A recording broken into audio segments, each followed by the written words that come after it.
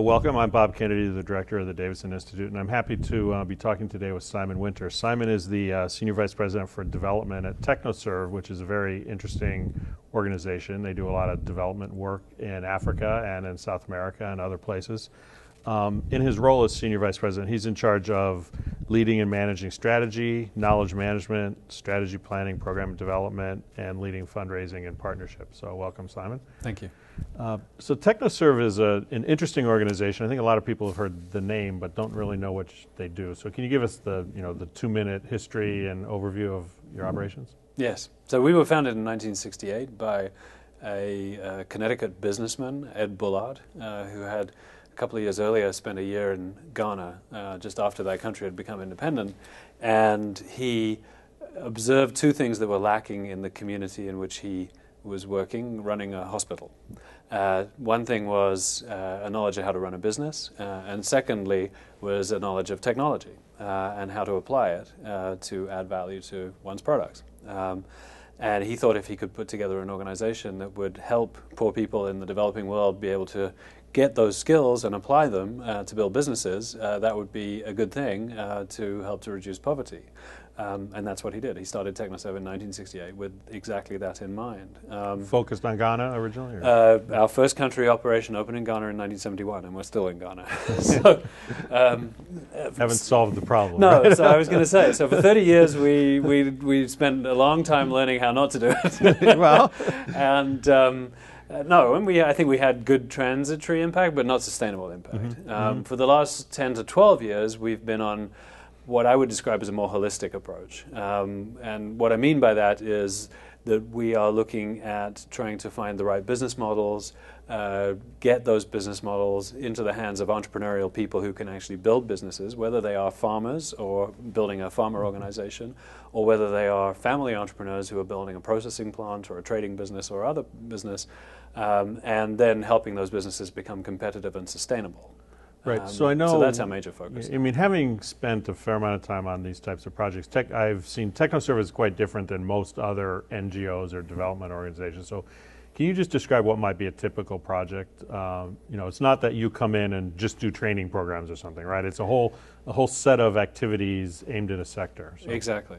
Um, so let me give you an example of uh, our fruit work in East Africa right now, which is a partnership between us and the Gates Foundation and Coca-Cola, mm-hmm. and then some local enterprises. Um, so this came about because Coca-Cola is uh, interested in buying mangoes and passion fruit in East Africa because they want to launch juice products uh, into those markets.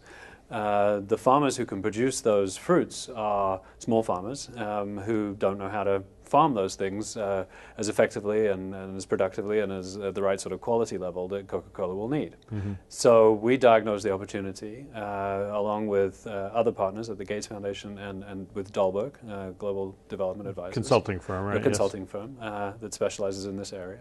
Um, and uh, we worked out how to uh, help these farmers uh, put together businesses uh, based around an aggregation point, uh, what we okay. call a farmer business group.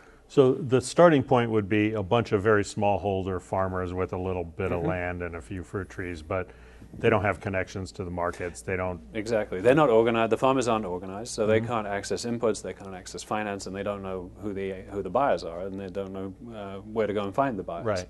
They're isolated.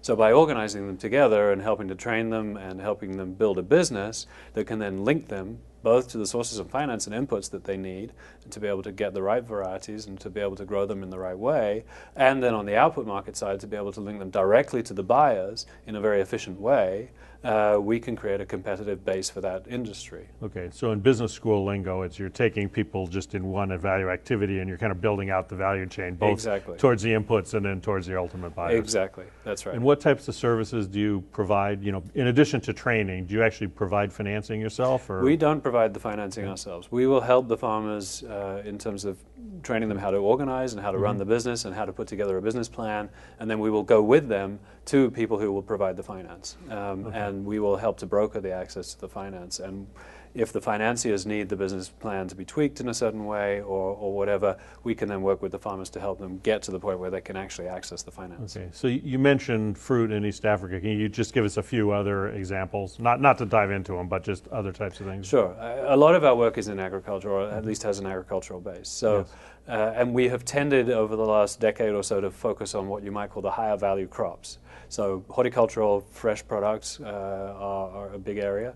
Another area is uh, livestock and poultry. Um, so, we've done poultry work, we've done dairy work, uh, we've done livestock work. Uh, another area is tree crops, like nuts, cashew nuts in particular, has been a great success story for us in Mozambique. Right. Um, and um, coffee, uh, cocoa, uh, and tea, um, also are, are other high value products. With the whole global emphasis on food security now, over the last two to three years, we've been starting to look much more at staple crops as well. And we're starting to do a number of programs in things like rice and sorghum uh, and uh, maize and, and Okay. so on.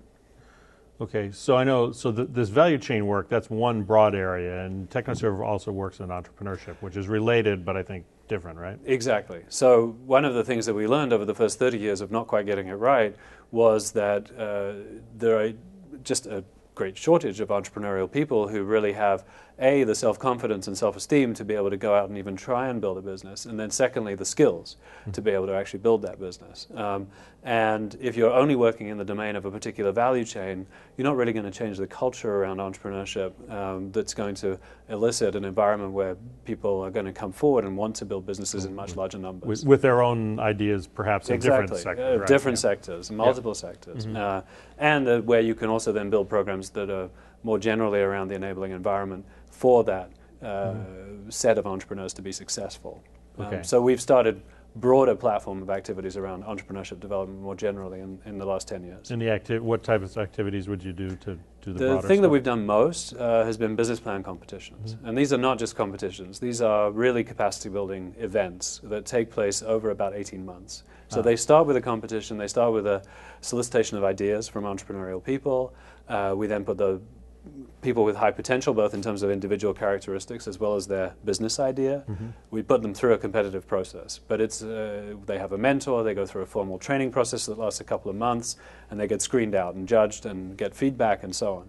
And then the successful guys get about a year of aftercare. And that aftercare is a combination of access to further support services to help them tailor their business plan, get their business registered, uh, get some audited accounts in place, put in place a management information system, and so on, and then also help with access to finance. Okay. So, and where are you doing this? In multiple countries? Or? Multiple countries, yeah. We've done it in many countries in Central America, Latin America. We have a regional program now with the Inter American Development Bank and JP Morgan and others in Latin America, uh, in, in multiple countries in Africa, and we've done one pilot in India as well. Okay, so I know that people are, you know, many of the people watching this video would be familiar with, for example, USAID or DFID, and then perhaps some other NGOs, many of which are relief oriented, right? Right. Uh, how does how does uh, TechnoServe either interact with those types of organizations, or how do you differ from them?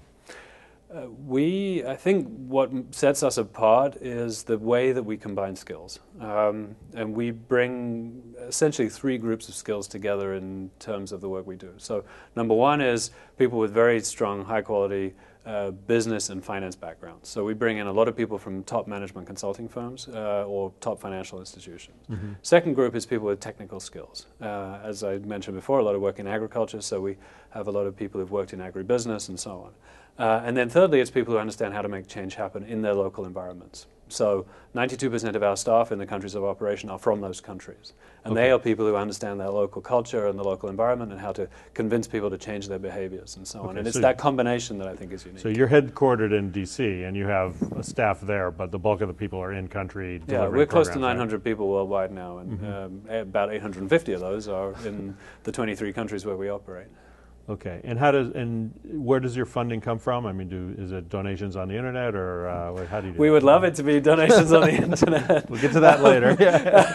but um, No, most of it at the moment is from institutional donors that want to see the kind of work we do happen. Um, so, Gates Foundation has become a very big supporter of ours. Uh, 42% of our budget this year is from Gates, uh, about 30% from the US government through USAID and the US Department of Agriculture.